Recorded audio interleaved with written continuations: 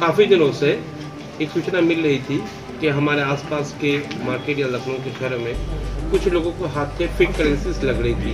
एक, दो, तीन ऐसे कोई मेजर नहीं था, लेकिन एक, दो था।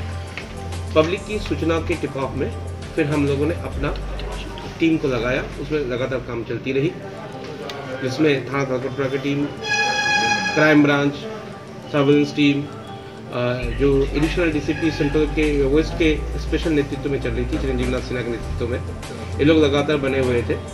कल रात को जब सूचना मिली कि ऐसे कुछ अपराधी हैं जो करेंसी फिर खपाने के लिए निकले हैं तो तत्काल टीम भेजी गई और पाँच लोगों को गिरफ़्तार कर लिया गया। ये पाँच लोगों के साथ पास से पचास रुपया सौ रुपया, दो सौ रुपया, पाँच सौ रुपया के डिनोमिनेशन के अलग अलग जाली नोटें मिली हैं।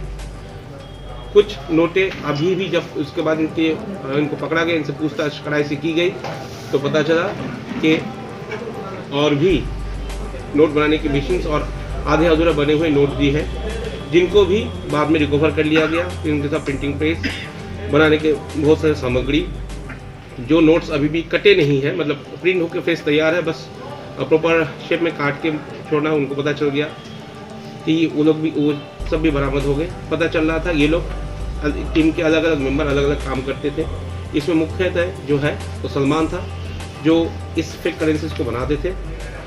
एक ज़मीर है, जिनके माध्यम से ये अलग अलग लोगों को डिस्ट्रीब्यूट करने की कोशिश करते थे। जिनके भी दो तीन लोग पकड़े गए हैं, एक और, एक दो लोग अभी वांछित चल रहे हैं, जिनको पकड़ना शेष है और उसमें कार्रवाई की जा रही है। इसमें बताने वाली बात मेनली ये है कि इनके द्वारा ये टेक्नोलॉजी नोहाव लिया गया कि कैसे इन करेंसी को बनाया जाता है। जिसमें जो अभी भी वांछित चल रहा है हमारा, ज़मीन, पता चल रहा